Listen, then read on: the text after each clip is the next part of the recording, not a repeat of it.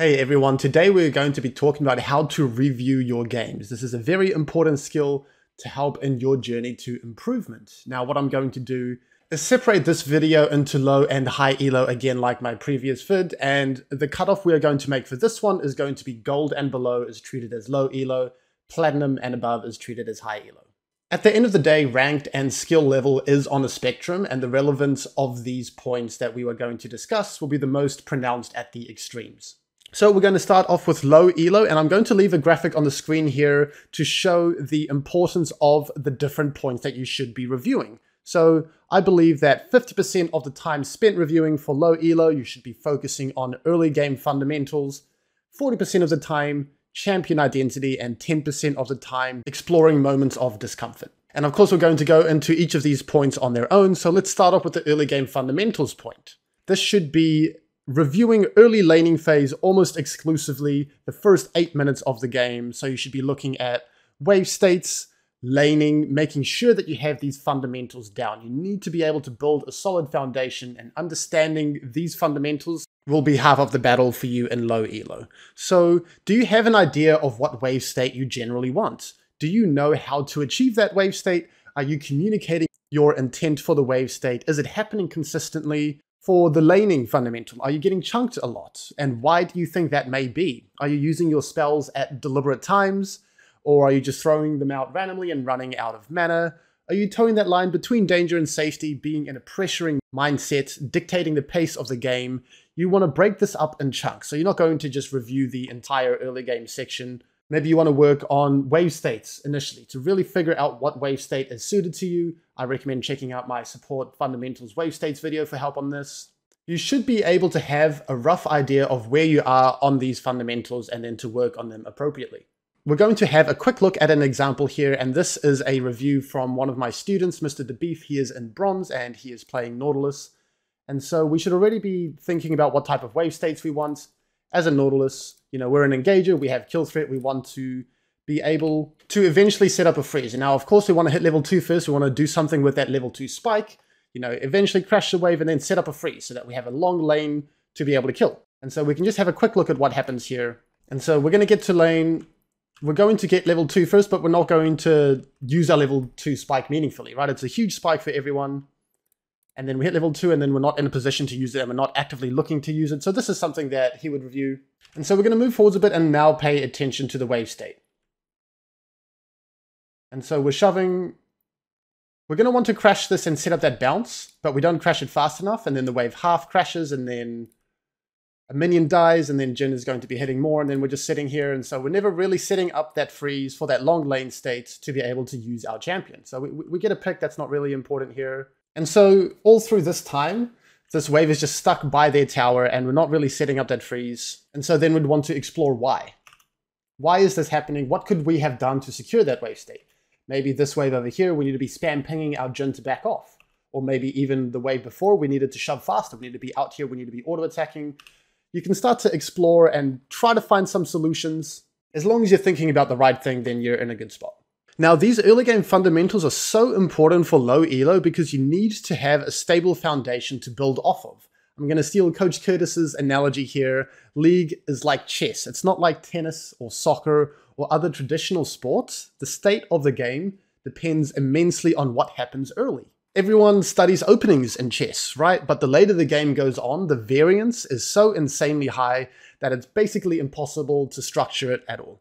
Sure, there are famous endgames in chess, but to replicate those is just not really in your control at all. It's the same for League. The first 14 minutes, even the first 8 minutes, can set yourself up for success. There are less variables, you can work to replicate it. Understanding its importance goes a long way too, especially when you're in low elo, to understand the snowball nature of the game. High elo generally has a better grasp of this concept and of the fundamentals. Moving on to champion identity. What does your champion want to achieve early? What is your champion strong and weak in? Maybe you're playing Nautilus, who is notoriously strong early, but you didn't build a significant advantage. You'd want to explore that. What led to that, and what can you do to change that? Maybe you are playing an enchanter and you failed to scale up, and you can explore that as well. This will help you to think critically about the game and build your game knowledge repertoire as well, which is important for low elo. So this is a student of mine. Um, she is in silver and we are talking a lot about the war of attrition in our sessions. For those of you who are unfamiliar with this term, this is a strategy to slowly bleed out the opponent and achieve maximum pressure with a ranged champion. I recommend checking out my War of Attrition video, which can give you a more in-depth explanation. And so what happened in this game is that she failed to meaningfully achieve the War of Attrition, and she noticed that, and then we went on to explore what we could do to change it and why it happened. So what happens here is they're getting the shove, the poke, the pressure advantage. Here is a wave that uh, is getting to shove. We're going to speed it up. And then the next wave they get to shove, get some poke down. They're pressuring us. And then the next wave they have access to again, and so we're not really making any inroads. And so there are a lot of potential solutions, right? I don't want to just go outright and say all of them. It's great to have a think about this. But how can we achieve Zyra's identity of being able to poke out and being able to win the lane? A potential solution could be preventing them from accessing our waves so easily, right? We could be right up here, look into order, look into queue. But then once we allow Sivir access to this wave, then uh, it's too late. Another thing could be, you know, we could use our E to trade for her E as we did, and then there's going to be a huge window to be able to punish. And so then we can really be exploring for an all-in on this window instead of just allowing the lane to kind of play out and not abusing that cooldown. There are so many potential options, but it is important for Zyra's identity, right? And so you have that game knowledge of Zyra or an enchanter or a mage. They want to be able to shove, poke, and pressure. It's not happening. It is a kind of a clash of your expectation of reality, and then you want to go and explore that. You're expecting to shove, you're not. How come? And so your champion identity is going to be inextricably tied to wave states. It could be about, you know, your strength at level one or level two or level three. It could be how a trade goes. You should have a general expectation of what your champion wants to achieve. Then jump in review and make sure that it is happening consistently. Moving on to discomfort. So this is moments of discomfort. You're going to remember and learn better from exploring emotional experiences that you had in game. We're going to remain in the early game for now, but you can have a, a look at moments in the mid to late that made you feel uncomfortable. But this will include poor trades, you know, failures of plays, especially deaths. None of us like dying. It's important to have a look at deaths. But without the game knowledge to identify why a death happened, you might be led to false conclusions. And so this is why I don't really want to emphasize the point of discomfort too much. This is only going to be taking up 10% of your review time, but this is a tool that can potentially help to build your game knowledge. And so what's going to happen in this example, this is the uh, bronze student again. There's going to be an awkward trade, and that could be a moment of discomfort, right? Like, why did we just get chunked out so heavily?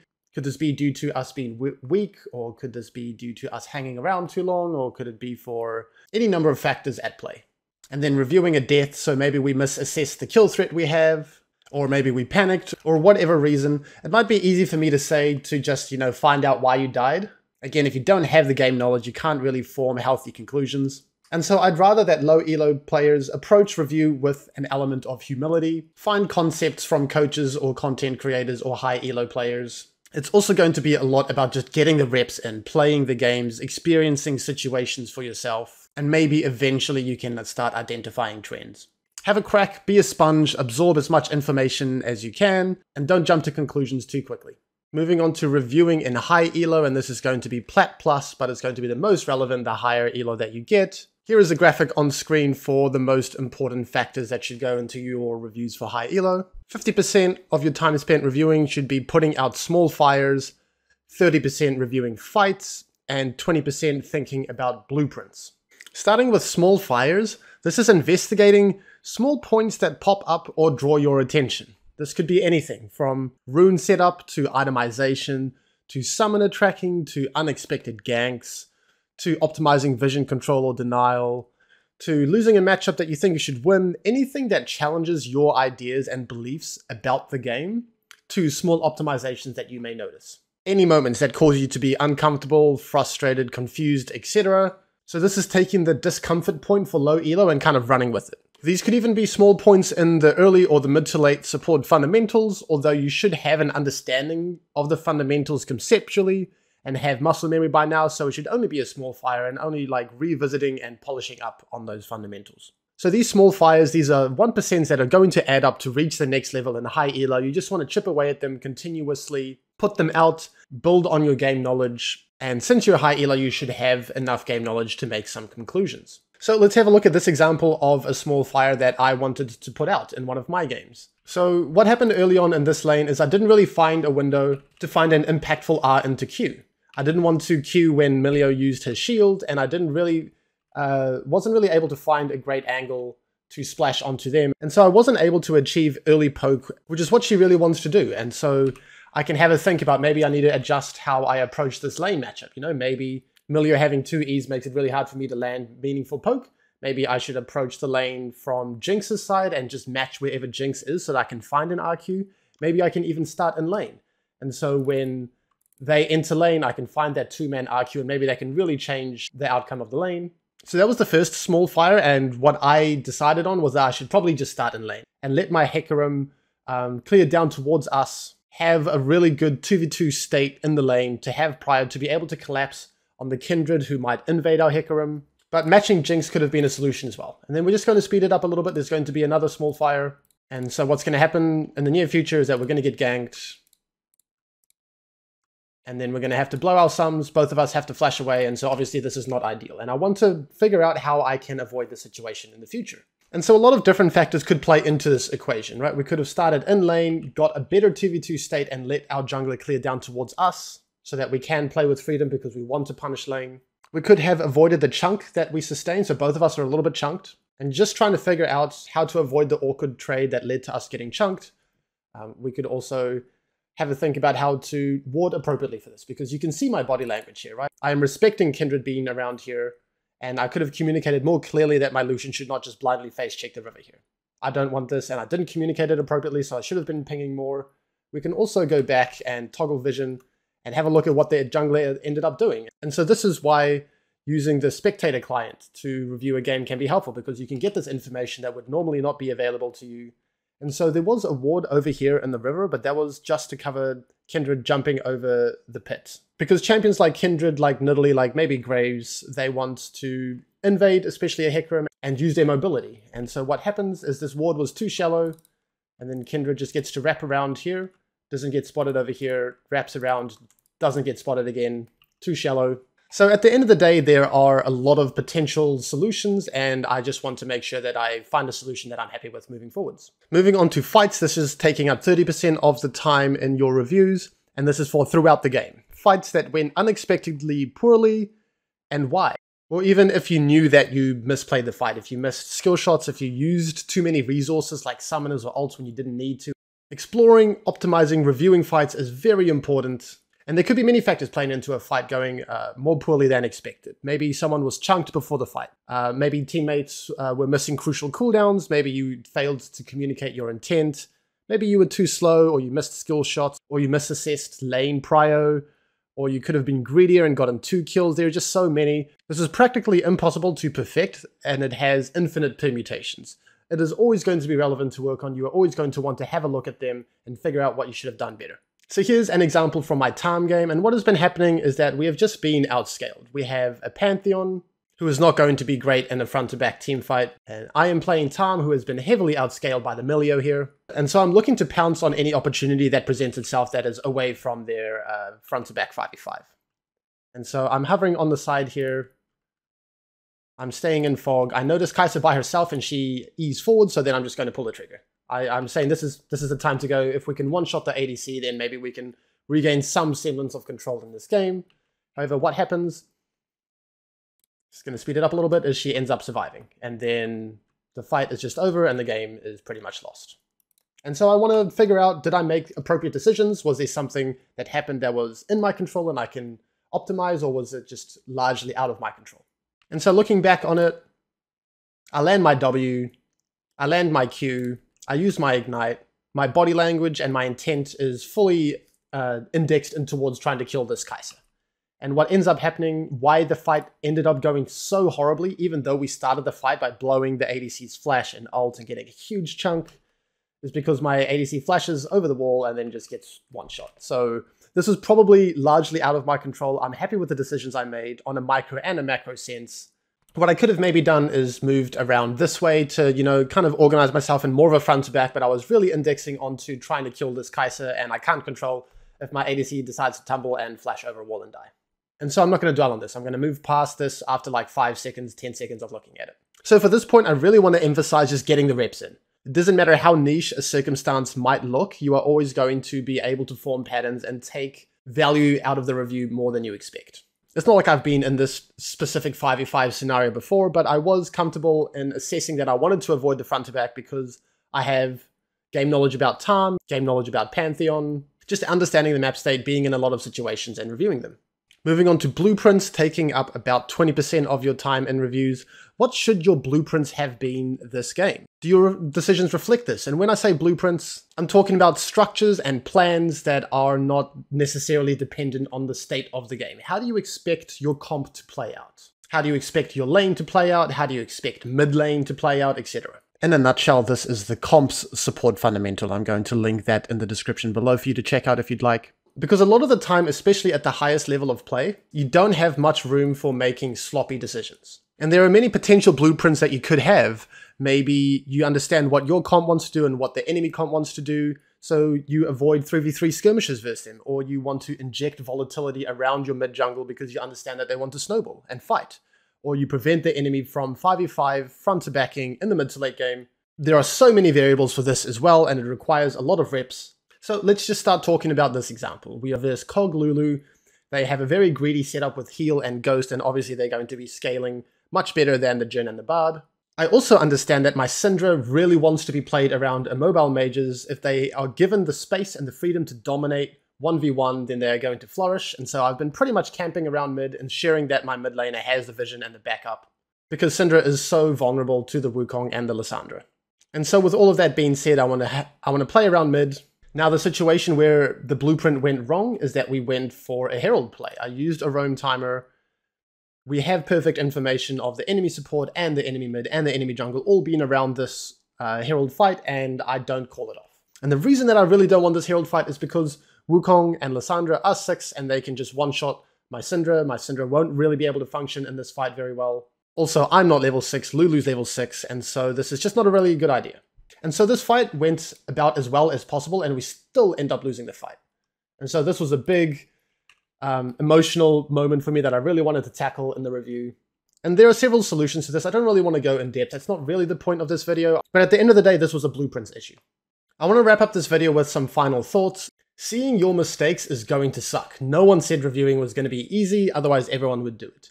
You want to overcome the pain and the cringe towards your play and your mistakes. It is so empowering once you can watch your replays and just be studying the game separate from your ego, have no emotional involvement in the game, just try to figure out what should happen. What you could even do is distance yourself from the champion initially. What should Bard have done here instead of what should I have done here? Physically writing down the learning objectives or the takeaway points has helped me a lot and it is very useful. You don't want to write every thought that comes across your mind and just write an essay. But physically making the words is going to stick in your mind more. And this, I mean like pen and paper, not necessarily typing it out. Time management, learn to move on from what you are reviewing. You can easily spend 15 minutes looking at one fight. It's not going to be worth your time for the most part. You will learn to get more efficient the more you review. You're going to make your job of reviewing easier if you test your limits, you push the envelope, you make mistakes, and you provide yourself with learning opportunities if we think back to my Karma getting ganked example, if I was just sitting under my tower the whole time, then I would take no learning out of that VOD. It's not a race to improve, it's about the journey. It's about the long term, slowly building up knowledge and trusting that results will follow with time. The more you get in your own head, the less improvement you'll notice. The best way to reach your goals is not to dwell and compare to your goal constantly, it's to just do. In terms of point of view versus spectator reviews, I always use Spectator for collecting game info, you know, items, waves, enemy locations, wards, etc. Point of view can be useful to see your clicks and your camera movement, but it is not necessary. There is a little bit of personal preference here, so that's fine. Reviewing your games versus reviewing pro games. I firmly believe in reviewing your games over pros. Your games are going to play out so differently from pros, it's hard or even dangerous to try to replicate. Pro games can be used for combos and for fights and maybe a little bit of laning phase, but it should be mainly entertainment in my opinion. You want to see your gameplay, improve your play, be a better version of yourself from yesterday. build up that knowledge and that skill slowly but surely. Although I will say the higher elo you get, the more you can take away from the highest level of play and the less dangerous it becomes. Just be careful not to dwell on the mistakes during the game. You can solve the problems and figure it out afterwards. In game, stay focused on the task at hand. And we're going to wrap it up with just quickly talking about what I do at the moment. So I put out small fires almost exclusively. I feel like I very rarely have knowledge gaps. I barely ever get confused which you'd hope from a long-time challenger and support coach. I've built that knowledge through extensive reflection and reviews. I've experienced the solutions. I've gone through the pain and the reflection. And so I don't really need to dwell on points longer than, you know, five to 10 seconds nowadays. For me, it's a lot about execution of the concepts that I know. It's about muscle memory, about mentality. And I also have strong emotional reactions to mistakes or discomfort, uh, which makes it easy for me to remember them for the post game.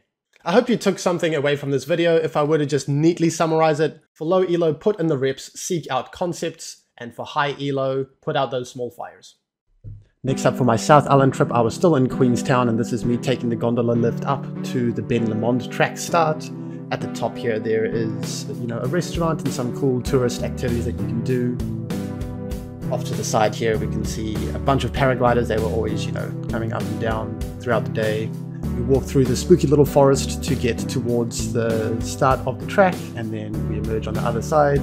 Just wanted to show this pretty lake with mountains in the background. And here, this is, you know, near the top. This was the rest of the track towards the actual peak of the track. Some great views here, of course. And this was at the top. There was a very long, arduous climb, just great scenery. I still get goosebumps thinking back to this day. I really want to go back here and do this walk again. Just surreal mountain scenery over here. And there's even a little lake tucked between the mountains, which I thought was really cool. And you can see some ice on the ground there as well, so we were climbing quite high and we were even in the clouds at the end of the hike. There was something poetic about being in the clouds after a hike, which was quite rewarding and special this is me at the top pre-mustache era with um, epic sweaty patches from my backpack from the hike. Thanks for watching, please consider liking and subscribing if you enjoyed. Big thank you to all of my patrons over here, I really couldn't do this without you. Um, the links for coaching, for Patreon, for my School of Support Discord server, for socials, they're all going to be linked in the description below. Any and all support is greatly appreciated.